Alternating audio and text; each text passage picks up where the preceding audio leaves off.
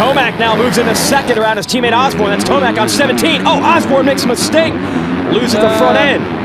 Hahn. That's Hahn, sorry. Oh, and now, now he's going to be mid-pack. Hahn had a great start.